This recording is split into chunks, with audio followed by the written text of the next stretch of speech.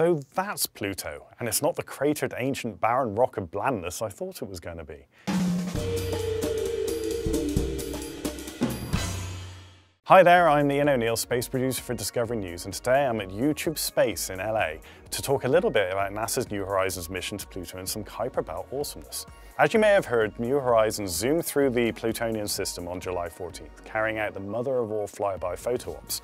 During its brief encounter after flying through the solar system for nearly a decade to get there, the probe carried out thousands and thousands of observations of the dwarf planet and its wonderfully diverse moons. The probe is now hurtling through the Kuiper Belt, nearly 17 million miles from Pluto. Although the flyby was over in a matter of minutes, huge quantities of data is now stored on the spacecraft's memory, and it's going to take over a year for the mission to beam all that information back to Earth. But already we're seeing some rather dreamy high-resolution views of a surprisingly dynamic and frankly amazing little world. Now before we get on to what Pluto really is, let's look back at what we thought it would look like before we got these very privileged close-up views. Pluto lives in the Kuiper Belt, a frozen hinterland in the outer solar system. In recent years, dozens and dozens of other smaller objects have been discovered out there, but only a small number have so far been categorized as dwarf planets. In 2005, Kuiper Belt astronomer Mike Brown discovered the small world Eris. That discovery spurred on the debate of what a planet actually is, resulting in the controversial decision by the IAU to reclassify Pluto as a dwarf planet in 2006.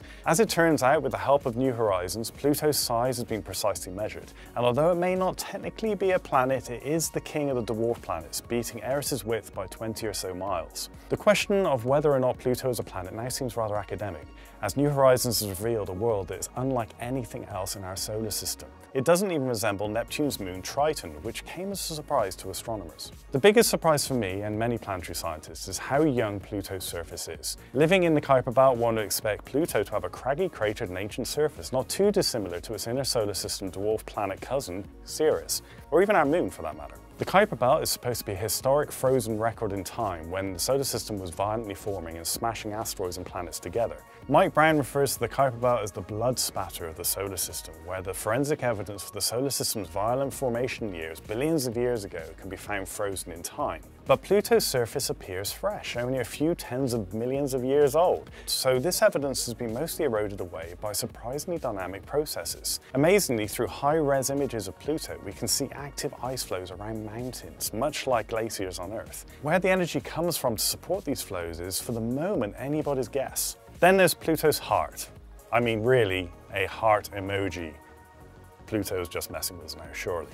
The heart, named Tombaugh Regio after Pluto's 1930 discoverer Clyde Tombaugh, is a wonderfully exotic region containing ice sheets, mountain ranges and active geological features. The entire surface is covered in a rich assortment of minerals and chemicals that will likely take scientists years and years to understand where they came from and how they fit in with the early formation of our solar system. And then there's Pluto's atmosphere. Although we've known for years that the dwarf planet possesses a thin atmosphere, New Horizons was able to look back through these atmospheric gases after flyby, seeing a beautiful solar eclipse taking critical measurements of the atmospheric chemicals. New Horizons has found that Pluto's atmosphere is a complex hydrocarbon factory where methane gets broken down by the UV light from the sun and more complex hydrocarbon compounds create an ice particle haze at lower altitudes.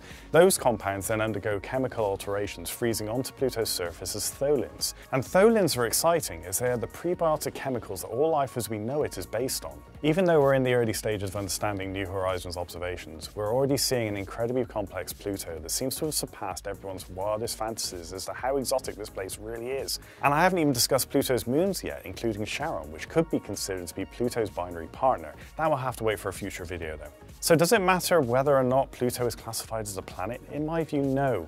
Actually, I think Pluto is showing us just how diverse and complex planetary bodies can be, and perhaps our notion as to what constitutes a planet is woefully outdated. Does it really annoy you that Pluto's been classified a dwarf planet, or don't you really care? Let us know what you think in the comments below, and if you want more dwarf planet weirdness, check out my video about the NASA Dawn mission to Ceres. After leaving asteroid Vesta in late 2012, the solar-powered robotic probe will become the first mission to visit Ceres. Dawn will reach Ceres, the solar system's innermost dwarf planet, by early April. Thanks for watching and subscribe for more D-News every day of the week.